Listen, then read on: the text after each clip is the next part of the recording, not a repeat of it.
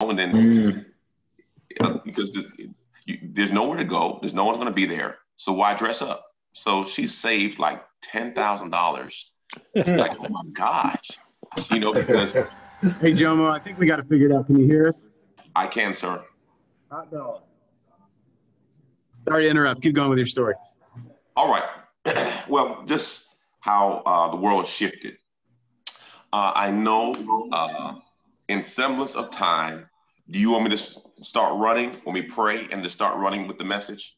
Because I know.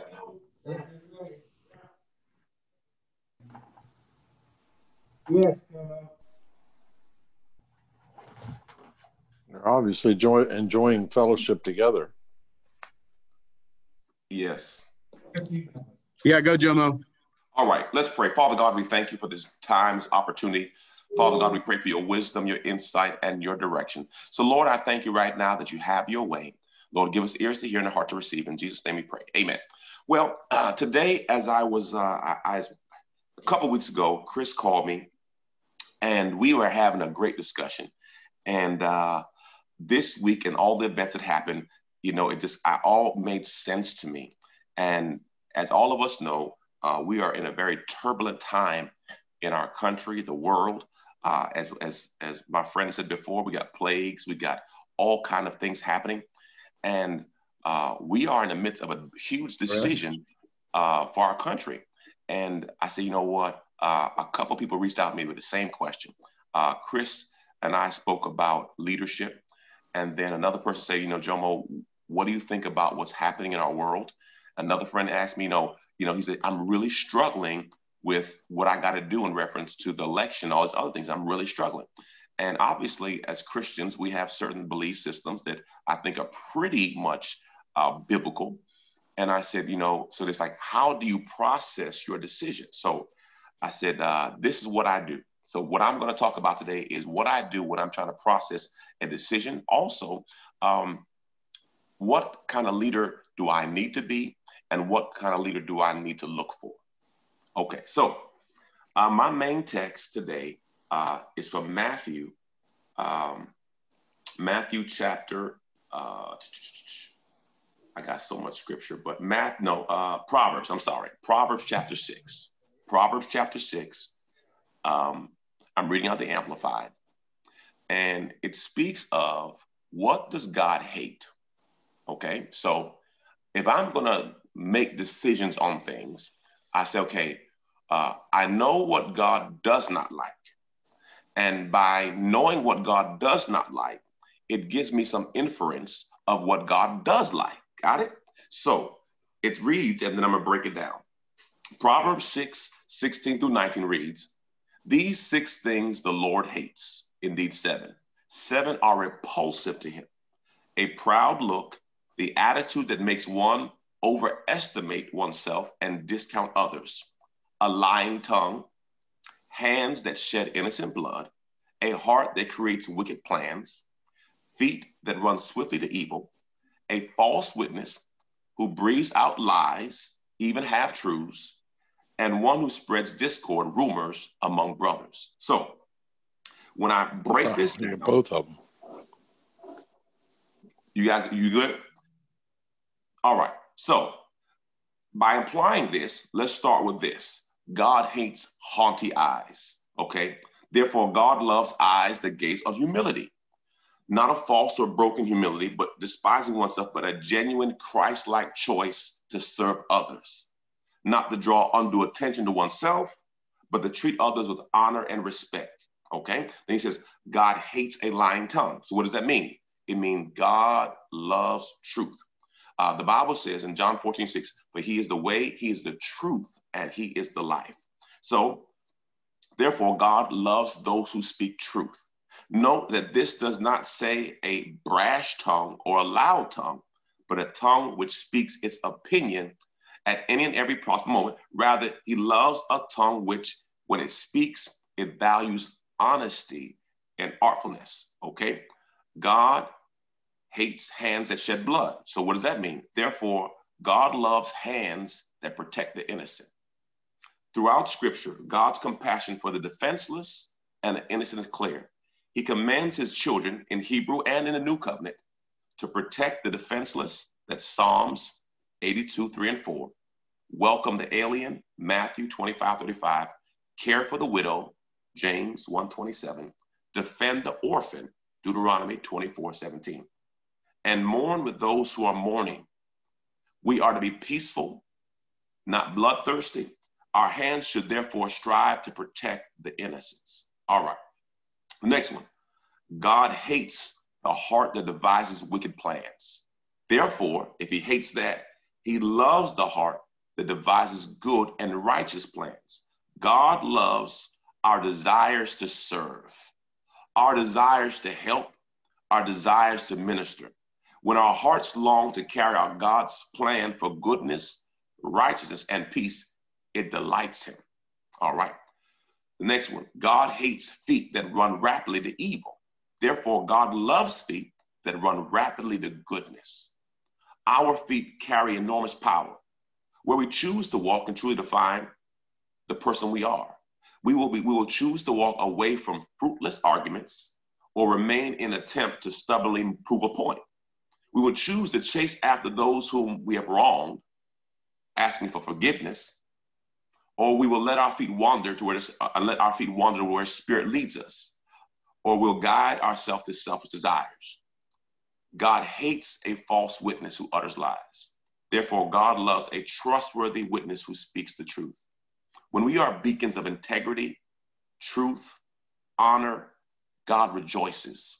In any situation, a witness is charged to faithfully report what happened to the best of their ability. The greatest witness we can be as faithful witnesses of God's work in our lives. We will stand boldly and speak the truth of God to the world. Are we living our lives as false witnesses or trustworthy witnesses? Next, God hates one who spreads strife between the brothers. Therefore, God loves the one who spreads peace.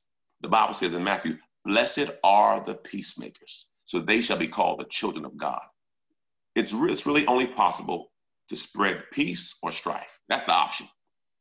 I, I, I, send, I, I, broke it down on this. Are you a fire starter or you're a peacemaker? There's only two options.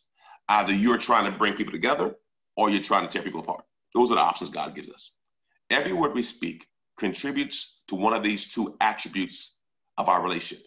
And God loves those who value peace, proving a point being heard or manipulating situations with one word at a time. God wants us to change our attitude and sow seeds of peace. So I broke it down. Okay. So this this is what God loves. This is what God hates. Okay. So when I'm processing things, I say, okay, what does God love and what does God hate? Then I go to the next level. Okay. Uh, the Bible says, you shall know a person's heart. Now, how can I know the heart? God says, man judge from the outer appearance. Man judges from the outer appearance, but I judge from the heart. So then the question is, how do I know a person's heart? Well, God gives me two ways for me to know a person's heart. It's called M and M. I know some of you thinking about M&Ms, chocolate, uh, peanut, uh, almond. No, M and M. You will find out a person's heart, two areas, their money and their mouth. Their money and their mouth. So if I want to make a decision about, huh, I wonder where that person's heart is, all you have to do is their money and their mouth. And it's the Bible. Got it? So where is that in the Bible, Jomo? I'm glad you asked me. Matthew chapter 6, verse 21. It reads, For your treasure is, for where your treasure is, that is where your heart is. Your wishes, your desires, of which your, your life centers on will be also. So wherever your treasure is, that's where your heart is. So if you ever saw my wife, okay, she has a nice ring. She has a diamond earrings. She has a, a diamond bracelet. I said, you know where my treasure is. It's on her. All my money is on her. Now, I don't know if I'm talking to anybody right now, but you know what I'm talking about.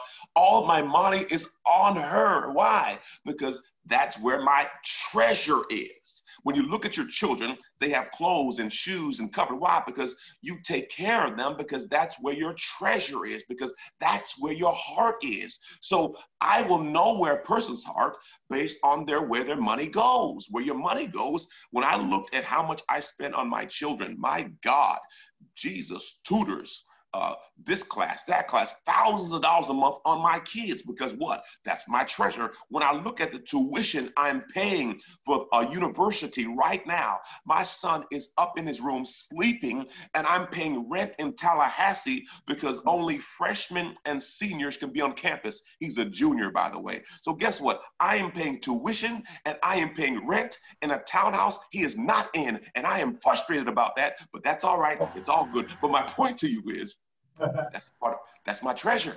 So guess what? You will find out where a person's heart is based on where their money goes. That's why he says where your treasure is, that's where your heart is. Then I will find out where a person's heart is with their mouth. Your mouth? Absolutely. This is Luke 6:45. Luke 6:45. It reads this. An intrinsically good person produces what is good and honorable, moral, out of the good treasure stored in his heart. An intrinsically evil person produces what is wicked and depraved out of an evil heart. Here it is. For his mouth speaks the overflow of his heart. Your mouth is connected to your heart. Now, this is not my opinion. This is what the Bible says. So, when a person says, screw you, bleep this, blap that, and they say, man, I'm sorry, I didn't mean to say it. No, you said what you meant. I believe you. Don't worry, you don't have to apologize. I rather you just tell me how you really feel because the Bible clearly states that out of the heart, the mouth speaks. So, two ways you can identify where a person is. And this is great for business, this is great for life. Two ways their money and their mouth. M and M. So if you ever get in a pickle and you try to figure out where a person is, just look where they put their money and look what they talk about.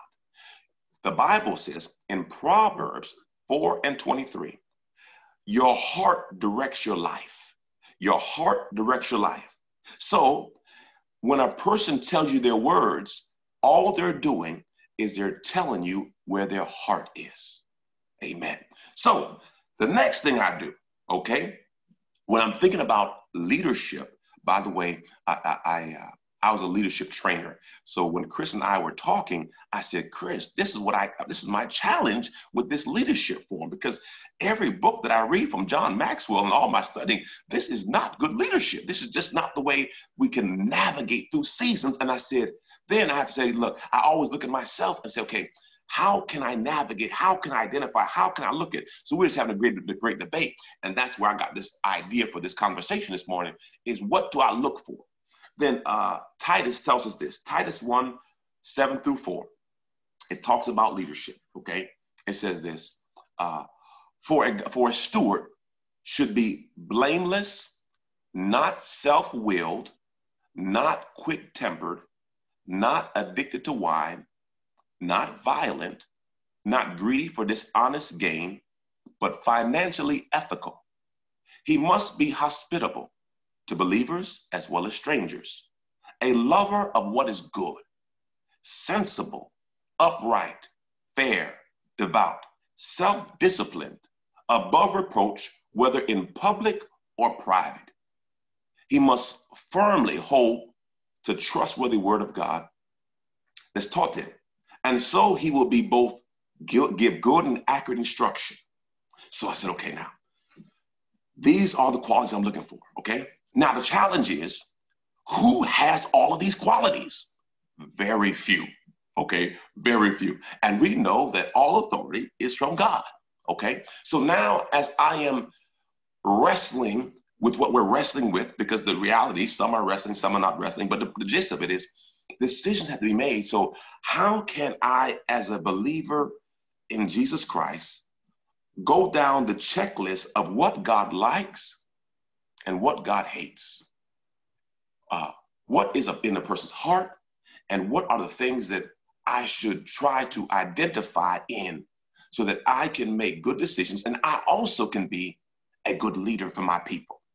Because whether you are a CEO, employee, independent contractor, patriarch, grandfather, uncle, we're all leaders.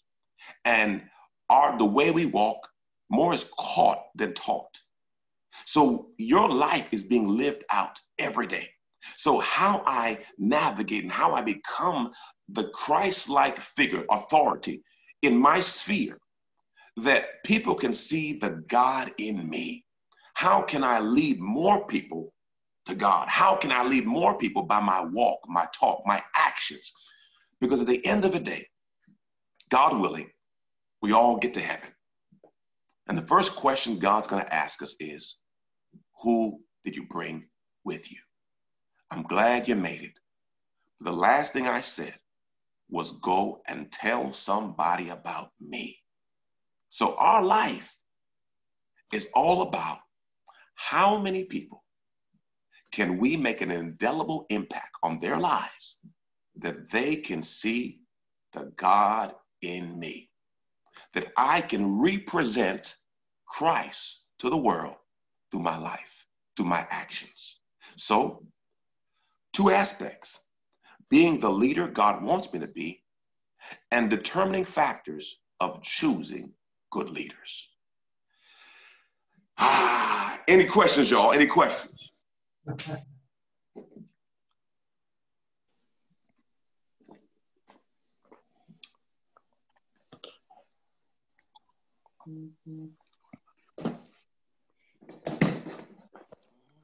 Well, remember, as we evaluate your choices in, in your comments, we in our heart have to believe what would God want. Amen. And when you take a look at actions, please, actions say so much more than words. I hear people talk about words and how important words are and how they do come from the heart. But actions go way beyond the heart. It's a sad commentary, but if we don't have love, we've got nothing. And, you know, I think it's up to each of us to show God's love in how we speak and what we do. We're not here to make everybody happy, but we're here to show everybody that we love them, no matter what their decisions, what their choices are. Just You an know- opinion. You said it, uh, Harry. Uh, for, that's First Corinthians chapter thirteen. In reference, he says, if you you can you can do all the talk you want and all the other aspects, but if you have love, if you don't have love, you have nothing. That's Uh, and it, it speaks on love is patient, love is kind, long as love suffering, love uh, keeps no record of wrong. And he says, but you can do all of this, but if you don't have love, you have nothing. And First John four eight it says, For God is love, and those who know God know God's love. And if you do not love, you do not know God. For God is the essence of love. Anybody else, y'all?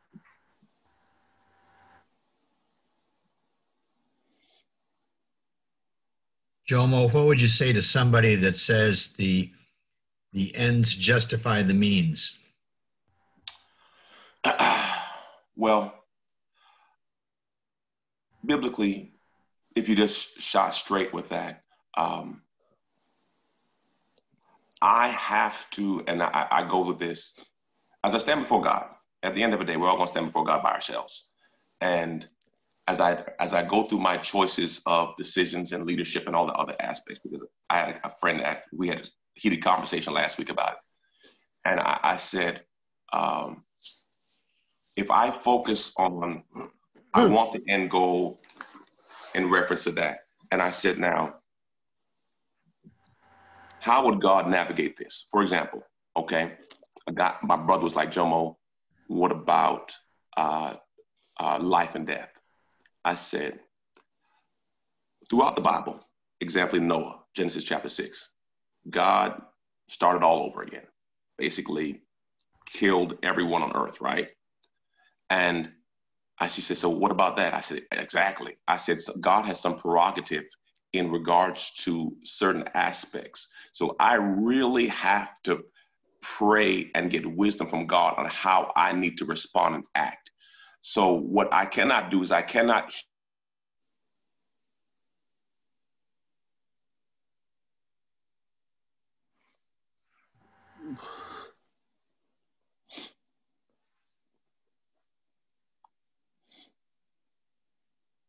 Lost you. You're locked up on us, Jomo. We can't hear you. You're you're s- stuck in one frame.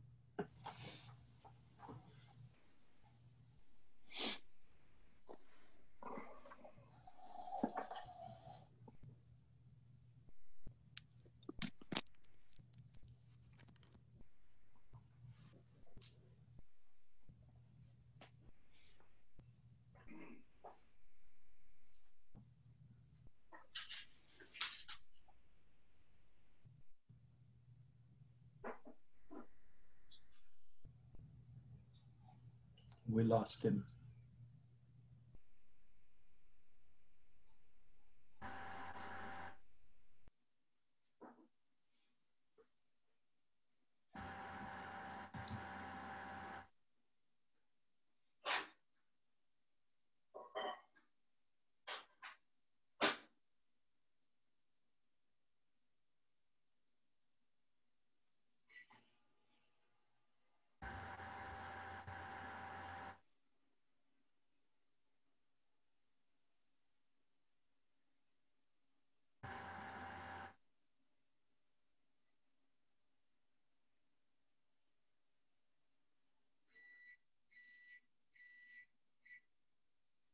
There he is. You're muted, Jomo. back. I'm sorry, y'all. Uh, had a little power surge and everything went bye bye. Um, I really have to ask God in reference because there's often tough decisions we have to make, and I have to make sure God has given me wisdom. So, what I've done for me, especially when I don't understand the ends, I try to identify with what God loves and what God doesn't love. And then also I say, okay, what characteristics can I take from this individual that is closest to God? None will be perfect, understood that.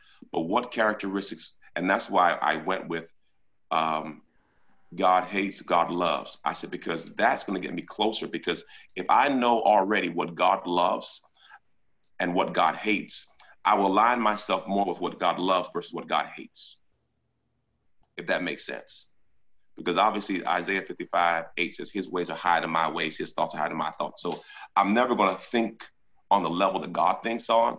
But my goal is to think in alignment with the things that he liked in the Bible and the things he hated in the Bible. Got it? It's muddy, to say the best. C- clear as mud. That's right. But we, you know, that's the fight and struggle we're in, trying to discern what is the best way to go.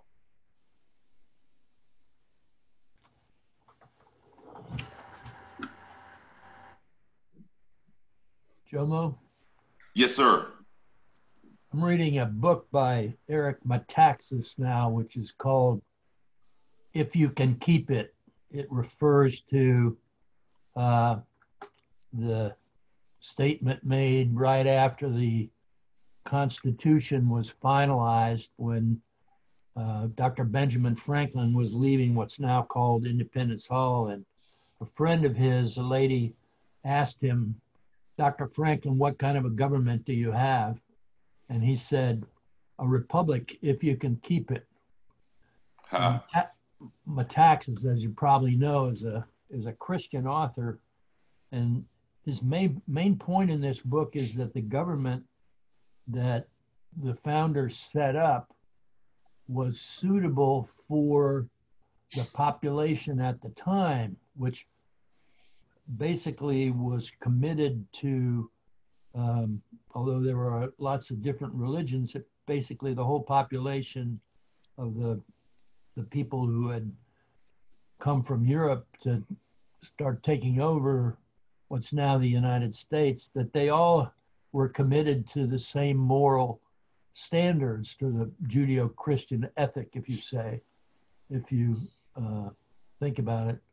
And the point of his book is that um, the founders said from the beginning that the go- type of government that we have is only suitable for people who have that moral commitment, that heart, that heart commitment. Um, and uh, when we, with all the things that are going on in our country today, um, and I just wonder uh, how we as Christians uh, can can be helpful in the process of trying to get the country back on track from this uh, great division and animus that we have in our culture. Agreed. I think that um, first off, I don't know if people are truly committed to what it means to be a believer. I think that uh, our priorities have changed. Um, as Matthew 6:33 says, seek ye first the kingdom of God and his righteousness. That's not really what people are seeking. So if you don't have a motive to to be what Christ has called us to be, if that's not your end goal, then obviously we're not going to get there, or at least have some semblance of it. Now, again, nobody's Christ, um, and it's it's not one person. It's a whole it's a whole thought process. So this is not I'm not castigating any individual, but I think that uh, I think that things have taken us off course to what God's called us to be and and to max to be to be the Christ in every situation. Which obviously I know it's in, in a world that we're dealing with, all kind of things are coming off, but it, had, it, it there's there there should be at least a moral compass of even the Bible says even if they don't know God, they still know right from wrong. Uh, even even that aspect um, that we should try to you know to get to that place. But I don't think uh, the Bible says that in the, in the end days, people will crave for things that are not of God and and that's that. What what what do people want? Where's the hunger for God in this in this season? So it's it's a it's a challenging time, but we know that um, as all these disasters are happening in reference to the fires, floods, all these things, we're coming to the end. What what exact date I don't know, but we it's obviously coming to the end. So we really have to be about souls and obviously, you're not going to change everybody, but as many people as we can enlighten to, to God's way is what we should do.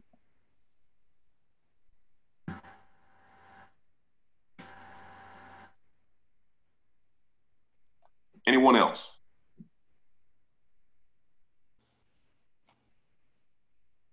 Dr. John Richard Sample. I'm uh, relatively new uh, here, um, and I enjoyed uh, your talking about money and your mouth. And I'd just like to say, before I became a, a what I would uh, hopefully others believe that I'm a practicing Christian today, I had a pretty good mouth on me, and uh, I knew the and used to utilize the expletives with the best of them.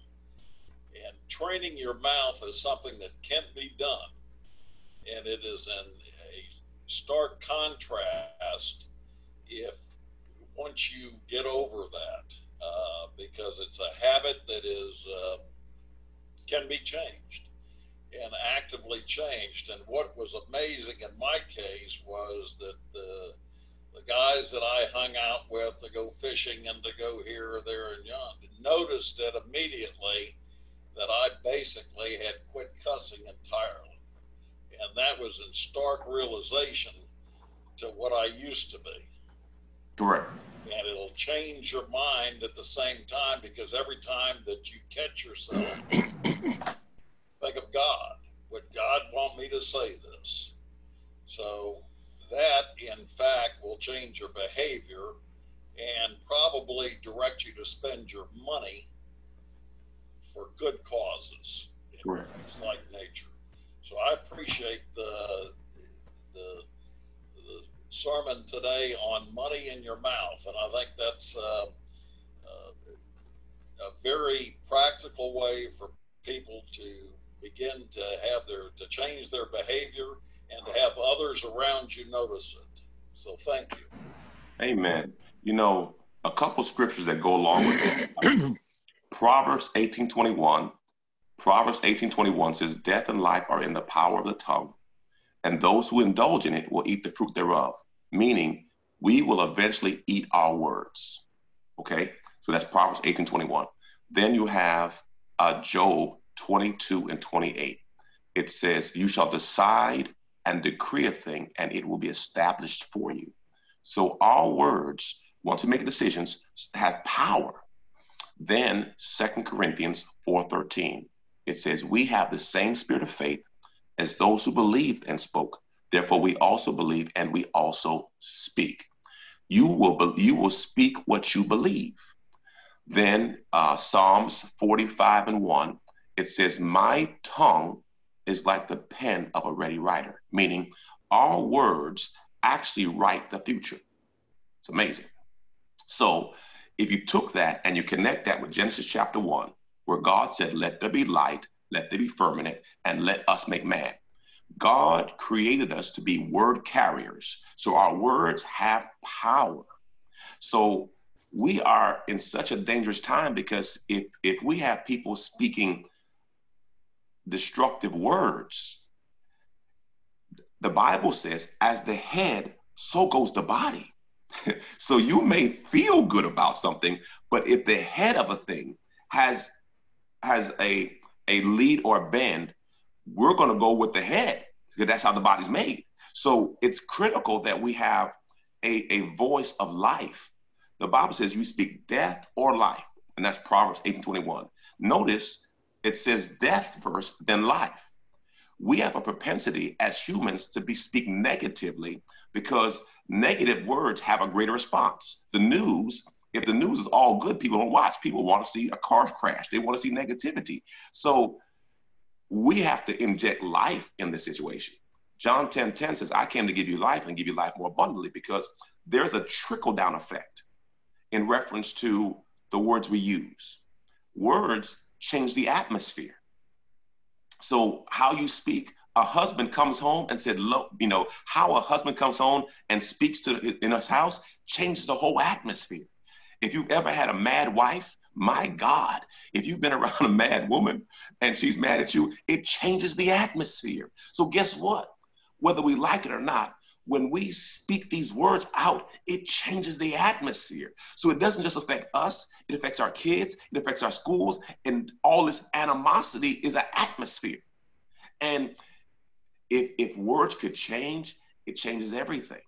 Because again, that's how we are created. We are word carriers. It's funny, my, my pastor told me, he says, um, basically, they wrote a, a negative article about him and he called the newspaper up and said, he said, hey man, um, that article is not true.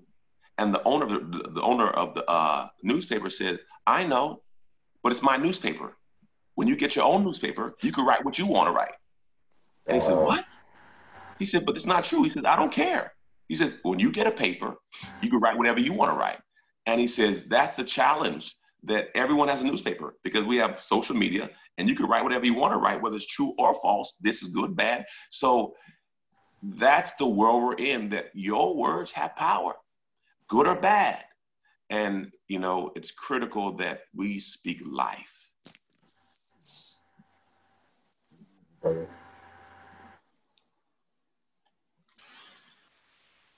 Pastor Jomo, good morning. This is Jimmy Wood. Can you hear me? Hey, sir.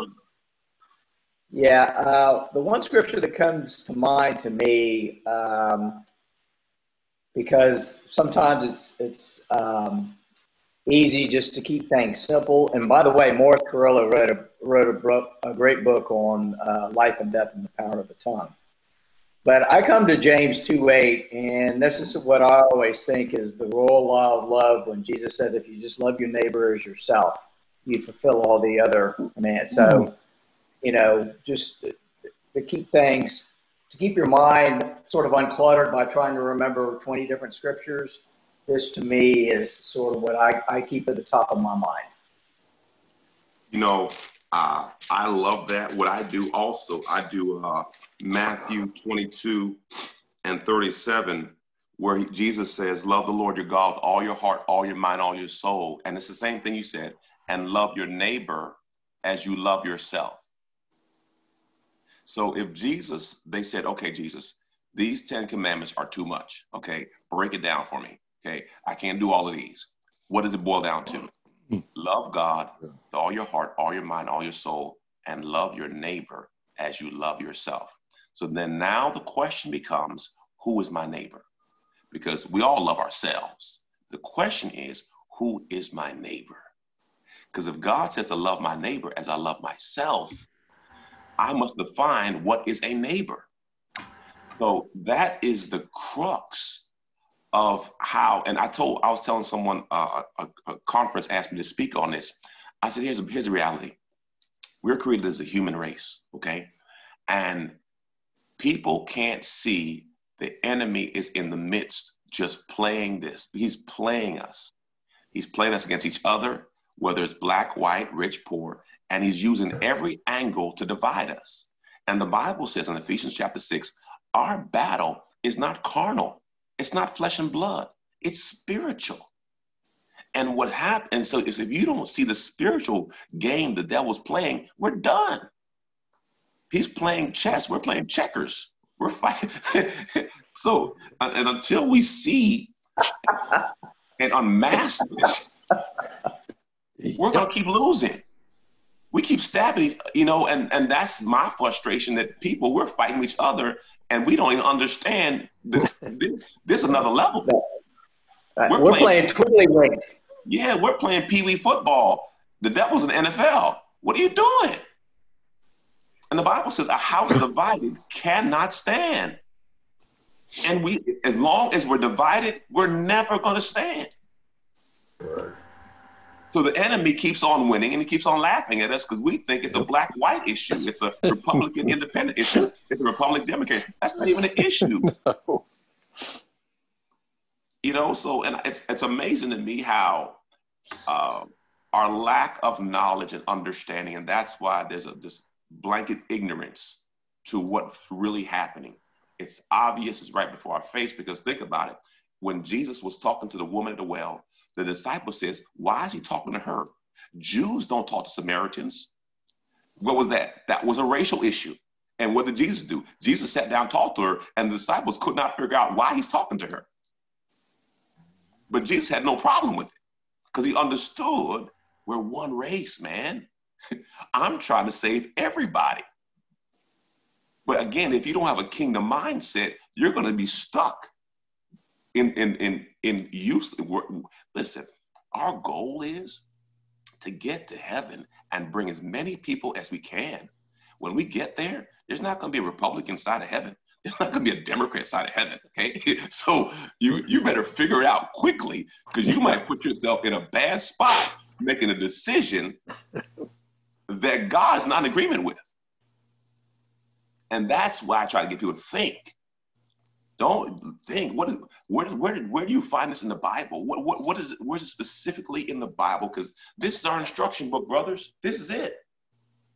And if I don't spend time understanding what He wants me to be, to love, to be a servant, to help, if I don't get that, I might miss the whole boat. And that would be a loss to me. That I have spent my time more engaged in theories, ideologies, and not the book. If I'm going to stand on anything, if I'm going is on the Word of God, and I, will let I'll, the Bible because the Bible says heaven and earth will pass away, but my word will remain. So I have to make sure that if I'm going to stand for something, where can I find in the Bible? Where can I find the Bible? Can I, because if I'm going to stand on it, I know the word will. Because remember, the Bible says God will back up His word, but He will not back up an opinion. God will back up His word. So I want to make sure if I'm going to stand on something, I'm standing on the word of God. Because if I'm standing on the word of God, the whole world can be against me. But if God be for me, who can be against me? Because see, when you're in the will of God, you're in the majority. I don't care if a million people against you, but if you're in the will of God, you're in the majority. Remember, there's a brother named Samson. He took a jawbone of an ass and killed a thousand men because God was with him. And that's where we want to be. We don't want to flow against the wind. We want to flow with the wind. Let's let's hear God in reference to our decisions, how to be a leader, and how to choose a leader. Amen, brother.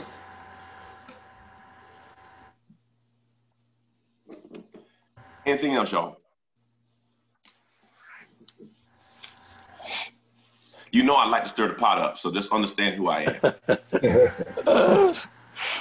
I love it. I love it. I run two fights. because the Bible says, as brothers, we should reason together. The Bible says the disciples, they reason together. Also in, in uh, Jim Collins' book, Good to Great, uh, we grow through vigorous debate. That's how you grow.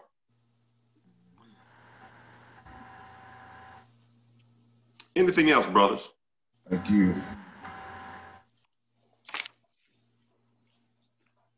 I have a question.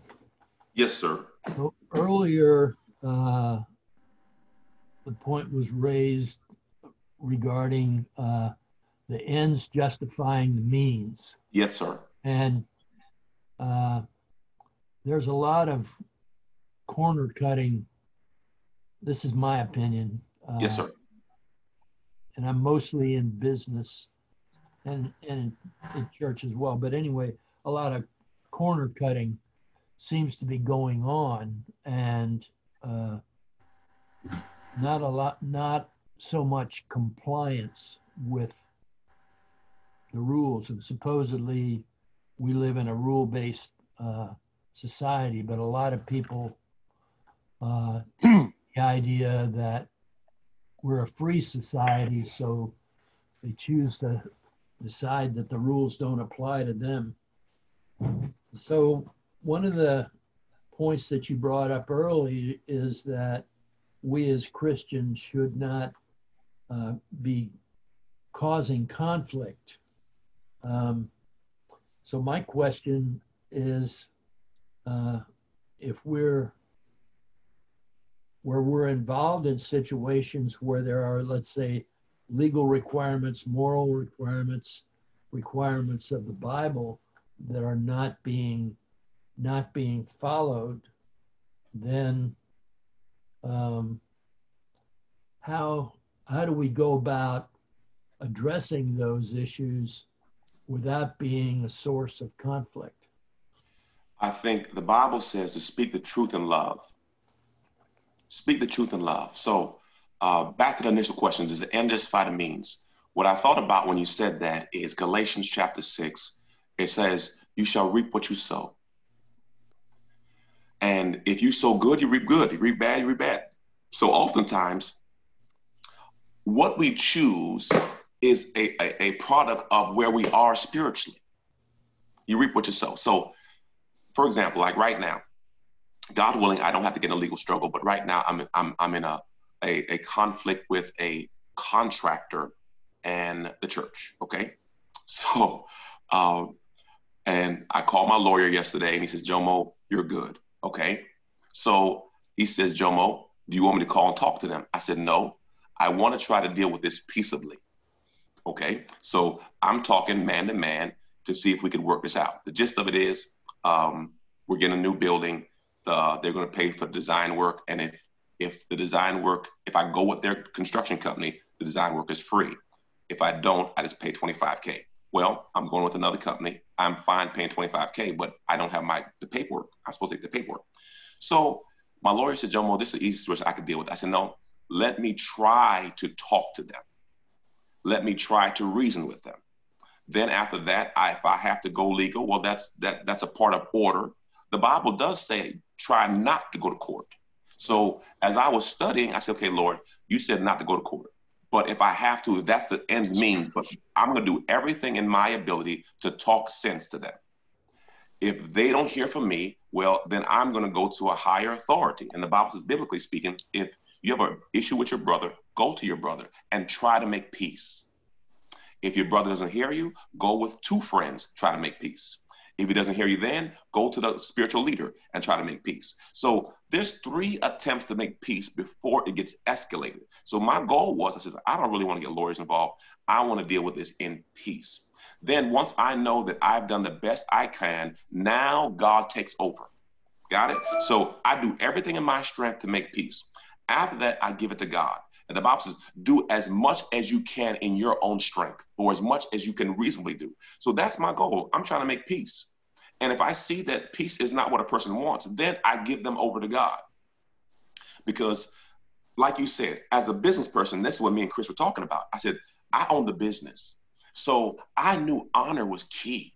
I knew respect was key. I knew mm. how I talk to people is key. I know how I treat people is key. I know that if something goes wrong, it's my fault. As a leader, I own it. Something goes wrong in children's ministry. Someone, I said, you know what? I apologize. That's my fault.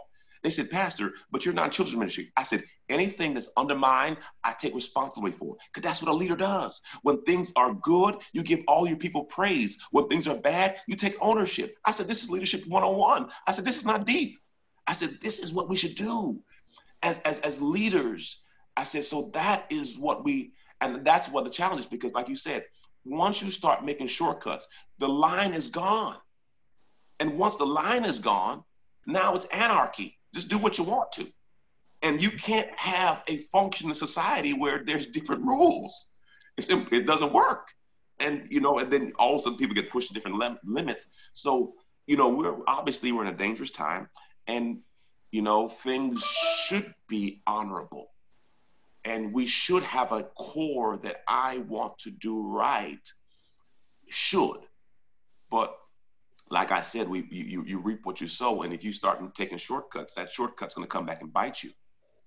And you know you you have to be mindful of it. And so i think also too there's ignorance.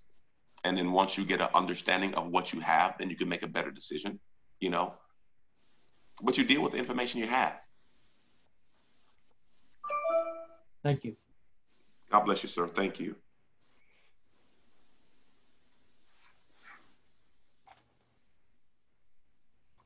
Any other questions, brothers?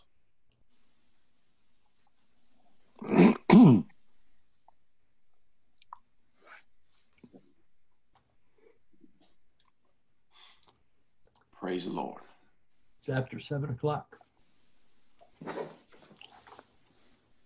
Oh, yeah. If there's nothing else, I pray.